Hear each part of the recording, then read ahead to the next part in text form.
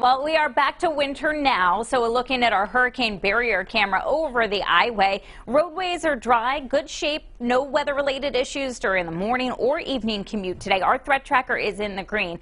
Late tonight and Friday is when we've got our next round of wintry weather that's going to be moving in. It starts off as snow, but it does change to some sleet, freezing rain, and rain for our area. So accumulation is going to be lower where that mix or change happens first. We expect that to be at the coastline, and it takes longer further inland. As far as coastal and inland area temperatures go right now, we're all running mostly in the 20s, between about 26 in Smithfield to near 30 in Newport. Hyannis still at 32, Providence at 29. Live radar, just seeing some clouds here. Uh, radar is picking up on perhaps a few flurries right across the Mass Pike. If we widen out the view, a storm system down across the deep south is the one that we're going to be tracking, lifting to the north and east. Eventually, the center of low pressure is going to be passing just offshore High pressure to the north of us is providing the cold air out ahead of that system for today. So this morning, plan on a mixture of clouds and sunshine. Temperatures trying to get back up to around the freezing mark by early afternoon, and the afternoon highs running around the lower and middle 30s at 2 o'clock.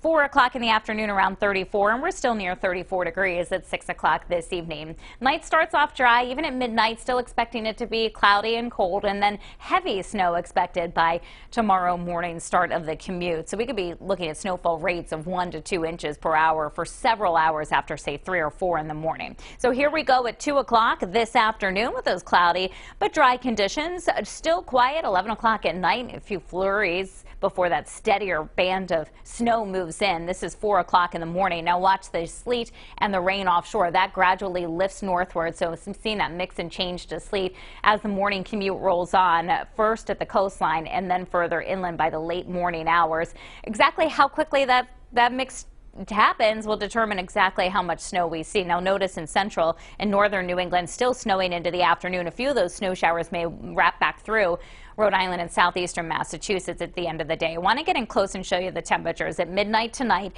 we're in the middle and upper 20s in Smithfield into Providence and low 30s near the coastline. So 3 in the morning when we're getting that very heavy rain, we're, or very heavy snow rather, our temperatures are in the middle and upper 20s. Then watch what happens through the morning. We start to see that mixer change to sleet. This is 6 a.m. As the temperatures gradually warm, we may even get above freezing for a few hours. We could actually change to plain rain or freezing rain for a time. This is 10 o'clock in the morning on Friday. This is a, a messy mix of snow to the north, icy conditions in northern Rhode Island, and potentially some rain in southern Rhode Island. Now, it does taper off to showers snow and rain showers in the afternoon hours. Temperatures between about 30 and 35. Watch what happens at the end of the day. The temperatures are going to rapidly drop. Any water moisture on the roadways will rapidly freeze up late on Friday and Friday evening, once again making for some slippery travel. Now, most of the accumulations happen in the morning on Friday before that mixer change over to sleet.